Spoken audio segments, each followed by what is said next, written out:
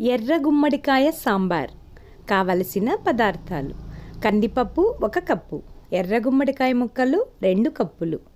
Tomato ముక్కలు ఒక cup. ఉల్లిపాయ ముక్కలు హాఫ్ కప్పు. పచ్చి కొబ్బరి తురుము ఒక టేబుల్ స్పూన్.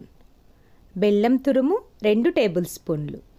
చింతపండు నిమ్మకాయంత కల్లుప్పు మూడు టేబుల్ స్పూన్లు. నీళ్ళు తగినన్ని. పచ్చిమిర్చి ముక్కలు ఎనిమిది. నూనె ఒక చిన్న గరిట. ఆవాలు ఒక టేబుల్ స్పూన్. జీలకర్ర హాఫ్ టేబుల్ స్పూన్. కచ్చా పచ్చాగా దంచిన వెల్లుల్లి ఒక టేబుల్ స్పూన్. ఎండుమిర్చి ముక్కలు రెండు. పసుపు ఒక టీ స్పూన్. ఇంగువ కాల్ టీ స్పూన్. కొత్తిమీర తరుగు తగినంత. కరివేపాకు రెండు రెమ్మలు. మెంతులు వేయించి పొడి చేసినది కాల్ టీ స్పూన్ సాంబార్ పొడి ఐదు టేబుల్ స్పూన్లు నీళ్ళు తొమ్మిది కప్పులు. తయారు చేసే విధానం. ముందుగా నేను చిన్న సైజు వచ్చేటువంటి రామగుమ్మడికాయను తొక్కతో సహా ముక్కలు కట్ చేసి పెట్టుకున్నాను. తర్వాత పాన్లో కానీ ప్రెషర్ కుక్కర్లో కానీ కందిపప్పు నీళ్ళు వేసుకొని శుభ్రంగా కడిగి వంపేసుకొని పసుపు నీళ్ళు వేసుకోవాలి. తర్వాత మధ్యలో ఒక బౌల్ పెట్టుకొని కూర ముక్కలు వేసుకోవాలి. గుమ్మడికాయ ముక్కలు ఉల్లిపాయ ముక్కలు టమాటా ముక్కలు కల్లుప్పు సాంబార్ పొడి బెల్లం తురుము నీళ్ళు పచ్చిమిర్చి చీలికలు వేసుకొని మూత పెట్టుకొని పాన్ యొక్క మూత పెట్టి వెయిట్ పెట్టుకొని మూడు విజిల్స్ రానిచ్చుకొని ఆఫ్ చేసుకోవాలి.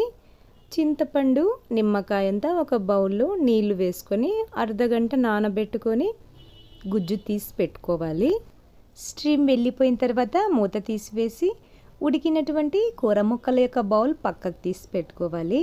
ఉడికినటువంటి కందిపప్పును కూడా మెత్తగా పప్పు గుత్తితో ఎనుపుకోవాలి ఆ తర్వాత అందులో ఉడికినటువంటి కూర ముక్కలు కల్లుప్పు సాంబార్ పొడి చింతపండు గుజ్జు కొత్తిమీర తరుగు పచ్చి కొబ్బరి తురుము వేసుకోవాలి. స్టవ్ పైన పెనం పెట్టుకొని ఆయిల్ వేసుకొని కాగనివ్వాలి. కాగిన తర్వాత ఆవాలు జీలకర్ర ఎండుమిర్చి ముక్కలు వేసుకొని చిటపటలాడేంత వరకు వేయించుకొని కచ్చా పచ్చగా దంచిన వెల్లుల్లి రెబ్బలు వేయించి పొడి చేసుకున్న మెంతులు ఇంగువ వేసుకొని ఒకసారి అంతా బాగా కలుపుకొని పచ్చి కరివేపాకు వేసుకొని కొన్ని సెకండ్స్ వేయించుకొని ఈ పోపు కూడా వేసుకోవాలి. పాన్లో తగినన్ని నీళ్ళు వేసుకొని అంత బాగా కలుపుకొని పది నిమిషములు ఫుల్ ఫ్లేమ్లో ఉడికించుకుంటే ఎంతో రుచిగా ఉండేటువంటి ఎర్ర గుమ్మడికాయ సాంబార్ తయారవుతుంది. చాలా టేస్టీగా ఉంటుంది.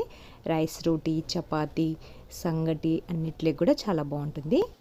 సాంబార్ పొడి ఎలా తయారు చేసుకోవాలో నా ఛానల్లో పెట్టాను. ఆ విధంగా తయారు చేసుకోండి. మీకు నచ్చితే లైక్ చేయండి షేర్ చేయండి సబ్స్క్రైబ్ చేసుకోండి.